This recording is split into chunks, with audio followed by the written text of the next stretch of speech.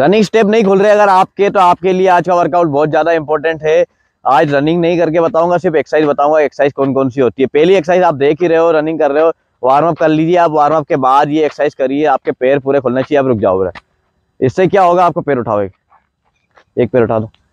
अब देखो, अभी ये बच्चा है, अभी छोटा है, नया आया है, इसकी मतलब मैं एक्सरसाइज इसको स्टेप खोलवाने की कोशिश कर रहा हूँ। अब पैर सीधा करो। वो पैर आपका सीधा होना चाहिए, अभी ये मुड़ नहीं रहा है पैर।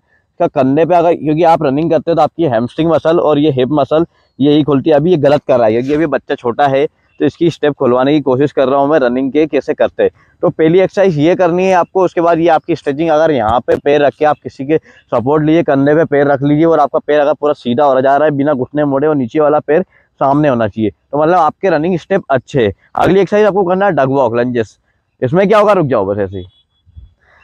ये ये मसल देखिए आप, ये देखिए आपका जो फ्रंट मसल है, वो स्ट्रेच होगा। आपका हिप मसल है, वो स्ट्रेच होगा। इसको करना है आपको कम से कम तीन से चार बार पचास मीटर तक करते रहो, ऐसे।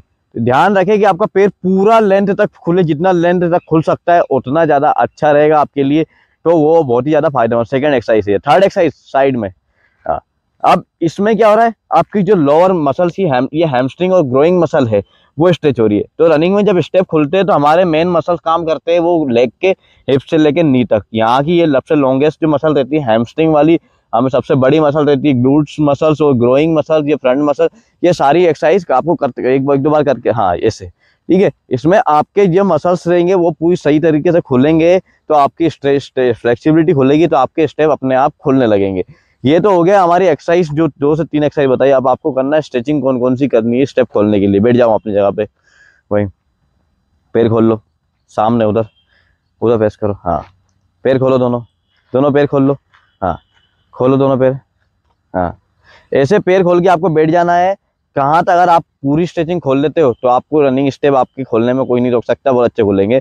अगर नहीं रुक रहे, खुल रहे तो आपको ये एक्सरसाइज करना है वर्कआउट के बाद स्ट्रेचिंग में आती है, जिससे कि आपकी हैमस्ट्रिंग मसल और आपकी बैकबोन मसल है, वो स्ट्रेच होगी फ्लेक्सिबल बनेगी फ्लेक्सिबल बनेगी तो आपको रनिंग स्टेप खोलने से कोई नहीं रोक सकता। अच्छे, आपके रनिंग स्टेप अच्छे से खोलेंगे।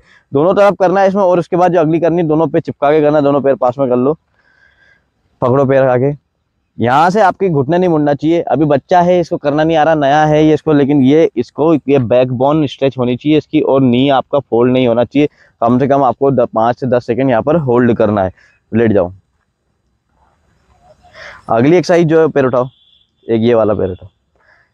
अगली एक्सरसाइज जो है स्ट्रेचिंग है ये। स्ट्रेचिंग में एक्सरसाइज मैंने तीन बताई थी, बाकी अब स्ट्रेचिंग बता रहा हूँ। क्योंकि स्ट्रेचिंग ही आपके किसी सपोर्ट की ज़रूरत पड़ेगी, आपके पार्टनर की, आपको ये यहाँ पर पकड़ के रखना है, इसका नी फोल्ड ना हो, और ऐसे आपको यहाँ पे स्ट्रेच करना है तो आपकी जो हैमस्ट्रिंग मसल है और ग्लूट मसल ये स्ट्रेच होगा तो आपकी रनिंग स्टेप खोलने में बहुत ही ज़्यादा कारगर साबित होती है। तो ये एक्सरसाइज बहुत ज़्यादा ज़रूरी है, आप करें डेली भी कर सकते हो, कोई इससे कोई दोराई नहीं है, इसमें डेली भी करोगे कोई नुकसान नहीं होगा आपको। कैसा लगा हमारा वीडियो, कमेंट करके ज़रूर बताएँ। अगली बार फिर मिलूँगा एक नए वीडियो के साथ, जब तक के लिए जय हिंद, जय भारत।